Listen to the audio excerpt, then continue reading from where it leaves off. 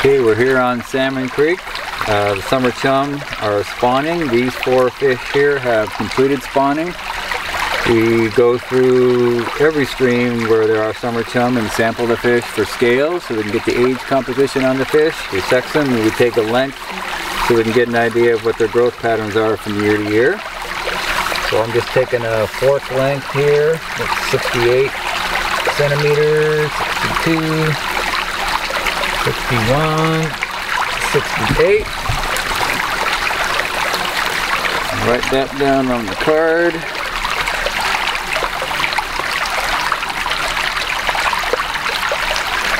And I go male, male, female, female.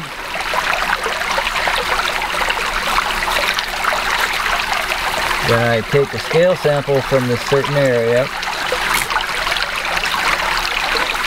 which is just above the lateral line.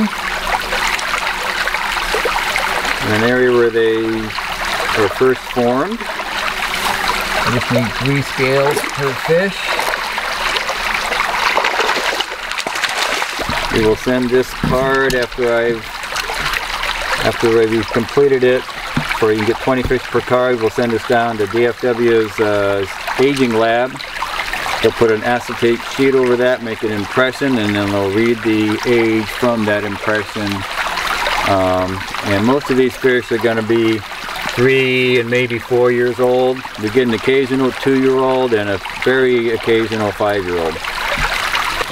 So by tracking this over time, we've been doing this since at least 1999, you can get a long-term series of the age composition which then lets you figure out the productivity or production potential of the population as a whole.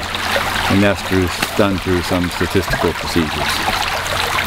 And these summer chum are listed under the Endangered Species Act. So uh, we need to figure out for a recovery plan to be um, effective, you need to know a lot about the fish and the fish populations. And these are a couple of the key parameters that we uh, need to look at.